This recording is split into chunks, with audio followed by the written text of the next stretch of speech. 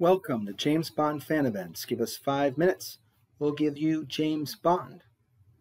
Today we're talking again about COAs when they are valuable. What is a COA or certificate of authenticity?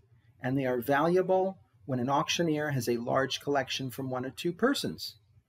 In other words, houses trust the seller as described in a prior video. They don't have time to check hundreds of auction items. But when a seller is me or you or someone who's been in the game a long time and has collected for dozens of years, we don't want to sell our collection, but we have to. We take the whole collection rather than painfully move them on eBay one at a time, send them to an auction house, and normally you can trust those items and those COAs.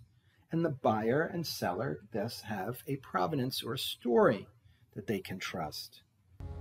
It is a question of trust. Who do you believe? Koskov or me? If I trusted Koskov, we wouldn't be talking. I've been in this game a long time. I run fan events a long time. I've presented props, memorabilia, uh, toys, games, books, autograph, Bond clothing, Bond autographs, Bond videos at museums, at libraries, at concerts.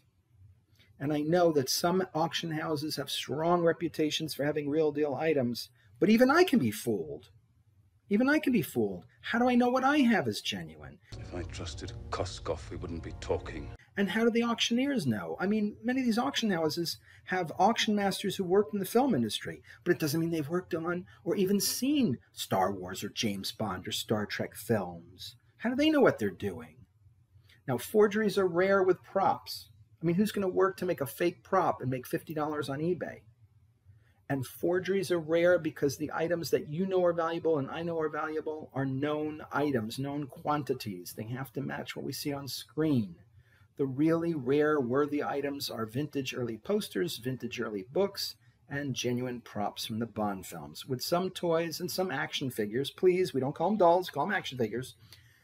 Those toys and action figures have limited values, some of them getting a high end of 1,000 or $2,000 for James Bond.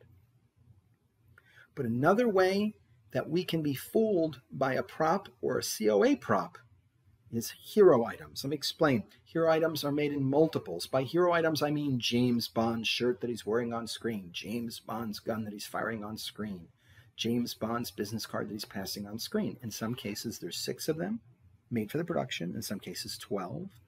In some cases, a 100 of them. So here's a hint avoid paper forgeries paper and autographs are probably the two places where forgeries can come into play, or mistakes like you're buying a replica, you don't realize it's a replica. Now, way back when, I learned Corel, Draw, and Adobe PageMaker, and then I learned InDesign and Photoshop so I could do some fun Bond items. And I made a table tent card from Diamonds Are Forever, one of my favorite films. It's campy, it's quirky. And when you're in Las Vegas today and you're having lunch or dinner, you'll get a table tent card that advertises the show. And I made a pseudo one for Diamonds Are Forever. Long story short, I put it on eBay. I sold it as a replica prop. Years later, it showed up in friends' collections in multiples as genuine props. You have to be careful.